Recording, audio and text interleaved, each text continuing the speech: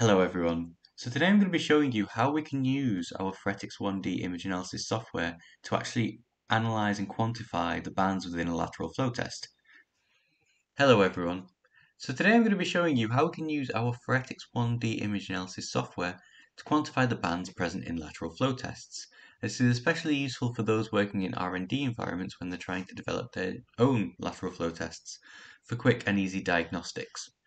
So as you can see here, I've got on this image, I've got lots of different variations of lateral flow tests, different combinations of antibody and antigen concentrations.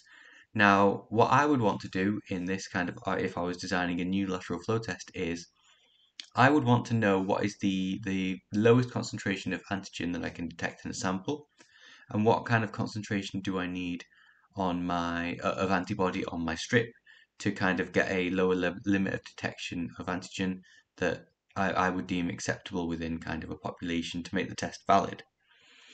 So at the top across this image, we've got a control strip. And I'm sure you've all used a lateral flow test before or a pregnancy test, something like that. They always have a control strip to make sure that the test is working correctly. And then we have different intensities of bands below, which will relate to different levels of antibody, uh, antibody on the strip or antigen in the sample. Now, if I just run through this, you can see that we're in the, the, if you've seen any of my videos on Phoretix 1D before, you know the kind of the image setup window. And we've got our 3D view here where we can see our control bands and all of our sample bands here. So if I want to come through and quantify this, I would come through to the lanes mode. Now, rather than this being a 1D jello block, there's obviously its separate lateral flow test. So I don't know how well the automatic lane detection is going to work, but let's give it a go. It's actually done a pretty good job of it. So I'm going to get rid of that and I'm going to use the area of interest setting just to narrow down my field of view for where I want my automatic lane detection to look within my image to detect the edges of the lanes.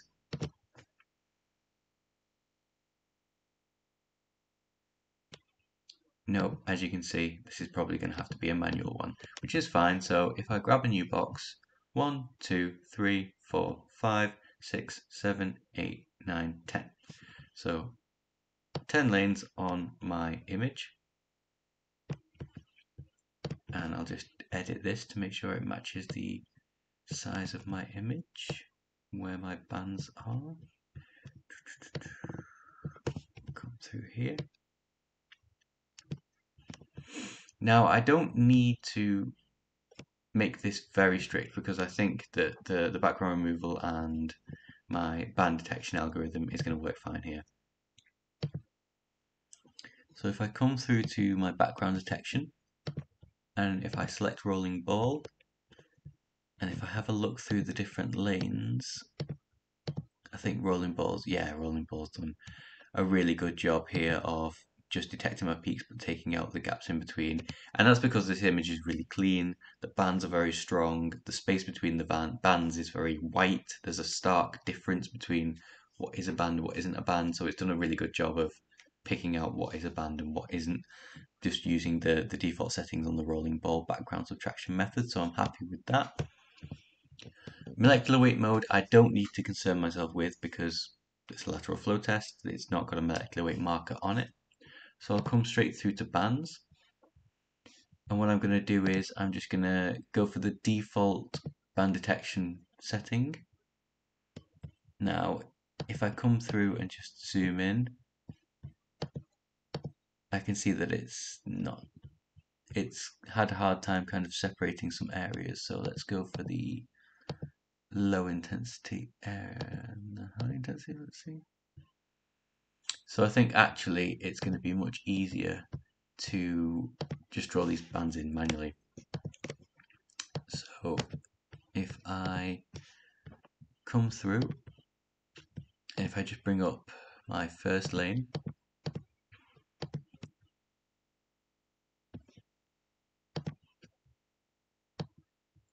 so if I just kind of drag this around, so I'm just going to left click and drag, and this is my first so this is the this first band on each image on each lateral flow test is the control band. So I'm just going to left click and drag and bring these across and release them just to define those as my lanes. As you can see, they're, they're very obvious peaks within my lateral flow test strips. Left click lane 2, and again, we've got our control strip here. Got all of our different lanes here. And it really is just as easy as holding left click, dragging across the the peaks, the data. So what you're doing here is you're essentially drawing bands rather than to the image, you're, you're drawing bands to the, the actual intensity data itself, uh, which can be a much easier way to pull out peaks of interest rather than relying on an image. Now, I'm not going to bore you with doing all of that, but as you can see, as I've done all of my bands there, I'm starting to build up my volume measurements, which is to say the intensity of my peaks.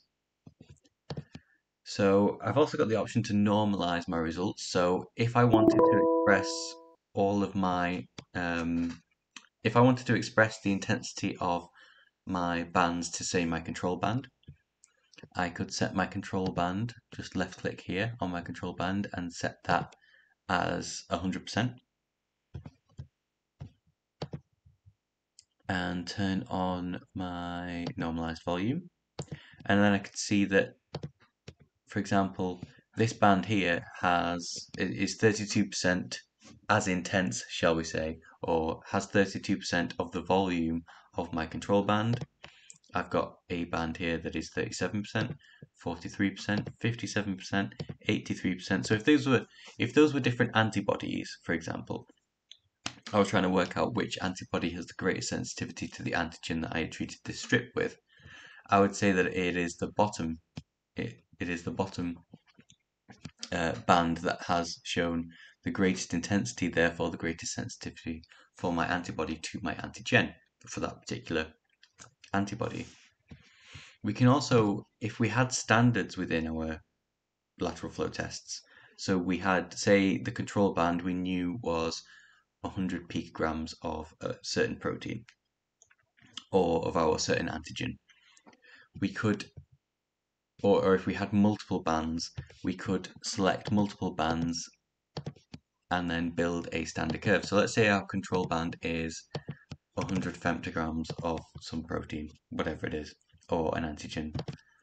And then our second band down is 50 femtograms of a random antigen that we're trying to develop a lateral flow test against. And our third band down is, say, 20. We would then be able to fit our our line. We would find a line a best fit that matched that kind of um, those changing intensities, and then that would tell us in our other bands what is being detected in femtograms or picograms or whatever it is that you've set up your standard curve, your quantity curve to, to, to align with. So as we've gone through, we've been able to build up a picture and convert the intensity of our bands within a lateral flow test into information, and then depending on your experimental setup, you'll be able to use that information to make informed choices about the lower level of detection, the highest level of detection, which of your antibodies is the most sensitive to your antigen, how small a sample size do you need versus an expected concentration within that sample size. If you know kind of, for example, if you're making a, a COVID-19 test, as we all know, they're kind of the biggest success story of lateral flow tests in recent memory. If you know the kind of the minimum concentration that you would expect to find in a positive patient and you need to develop towards that, you could use the information that we've pulled out of our image here in your experimental setup to find out, you know, you need to add two drops of saliva for this test to be valid, for there to be a high enough concentration in a positive patient for an experimental result. So that's the kind of information that we can use, that we can pull out of our image using Phoretix 1D. Now, all of these, these figures here, this information that is part of our results table, and get our background information, we can get all of this different information and build up this table and turn it on or off. but we can also copy this to our clipboard so we can paste it into another piece of software, Excel, MATLAB, something, some other statistical package, or we can uh, export it as a CSV, again, straight into Excel for use in other programs. It's completely open format as all of TotalLab software is. It's completely equipment agnostic. It will work with major file types within life science. And we can also export a full PDF report. And if you've seen my other videos, you'll have seen what those PDF report looks like. But what we can also do is, if we connected this Phoretix 1D, our Phoretix 1D software with our 21 CFR solution, TotalLab GXP, we will be able to use this within um, a regulated environment. I'm going to do a separate video on that, um, but I just wanted to let you know that there is a 21 CFR compliant variant for this. So if you were working in a medical device company or a regulated industry that needs to be FDA compliant, EU Annex 11 compliant, uh, GAMP5 compliant, all the kind of compliance you require and all the kind of audit trails, electronic sign-ins, things like that that you require to make diagnostic devices within medical industries.